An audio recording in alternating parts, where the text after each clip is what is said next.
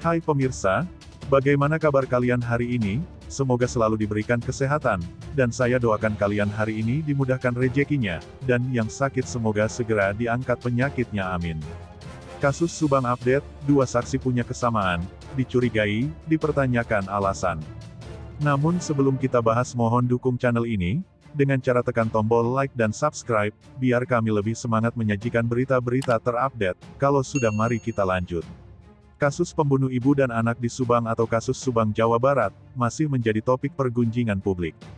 Kendati Polda Jabar sudah merilis sketsa wajah pelaku atau otak perampas nyawa Tuti dan Amel, belum juga terungkap.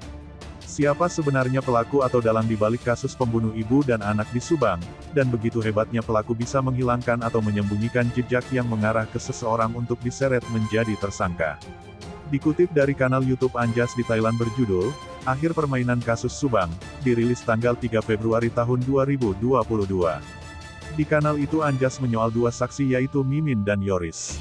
Kenapa membahas dua saksi ini?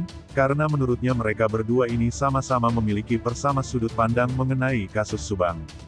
Sekali lagi aku bahas ini adalah hal yang memang sedang beredar di media sosial dan menjadi perdebatan, kata Anjas. Persamaan di antara mereka berdua sebagai saksi di kasus Subang adalah, kata Anjas, mereka dinilai netizen, warganet memiliki beberapa hal yang bisa menjurus ke motif yang sifatnya lebih ke subjektif. Misalkan mereka dinilai adalah orang yang paling beruntung oleh orang yang paling diuntungkan dari kepergian kedua korban, tutur Anjas. Penilaian ini, tambahnya, yang tersebar dan terungkap di media massa. Sehingga keduanya dianggap terlibat karena hanya dari hal tersebut, cetusnya. Di sisi lain yang cukup memuatkan bagi keduanya adalah, tambahnya lagi, baik Yoris atau Mimin belum menemukan hal-hal yang sifatnya ilmiah atau mengarah ke alat bukti memberatkan. Kalau secara subjektif orang menilainya ini adalah motifnya, yaitu paling diuntungkan, tutur Anjas. Ini maksudnya, tambahnya lagi, Yoris diuntungkannya memurut netizen berpikir adalah tentang masalah ekonomi. Karena suka tidak suka keluarga intinya adalah Yosef, Yoris dan kedua korban. Otomatis menyisakan kedua orang itu dan berhubungan dengan ekonomi, jelasnya. Sementara Mimin, tambahnya, secara hukum tidak mendapatkan apa pun. Dalam pendirian yayasan pun tidak ada nama Mimin juga tidak terdaftar secara resmi pernikahannya, tambahnya lagi. Disebutkan, ini yang sifatnya lebih ke hubungan suami istrilah yang mengarah memberatkan ke Mimin karena ada perdebatan ABCD. Tapi sekali lagi persamaannya adalah belum ada hal yang memberatkan dari yang ilmiah untuk merujuk ke alat bukti, tuturnya.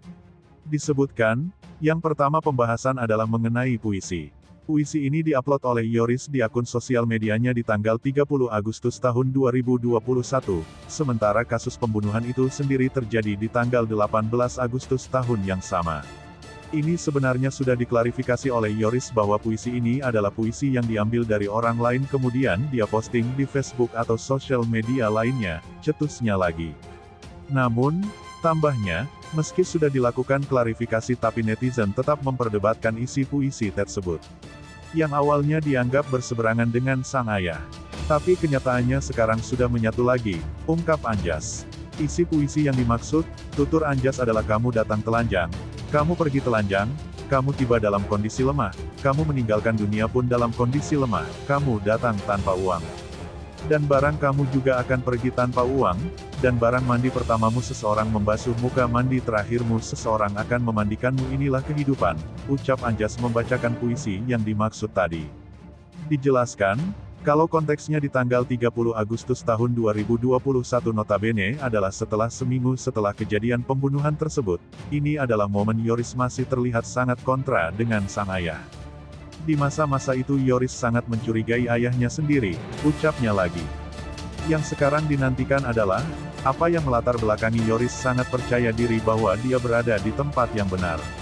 Ini juga penting karena sudah menjadi konsumsi publik. Dan alangkah baiknya Yoris menyampaikan poin-poinnya, kenapa dia merasa yakin dengan pilihannya bersama tim kuasa hukumnya Yosef, tuturnya. Nah, gimana menurut kalian? Terima kasih telah menyimak video kami, nantikan video-video terbaru selanjutnya hanya di channel Up Info.